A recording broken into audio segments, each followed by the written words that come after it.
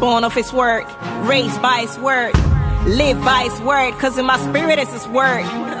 I'm what his word talks about, and that's what I'm talking about. Self sufficient in Christ's sufficiency. Okay, I grow luxuriantly.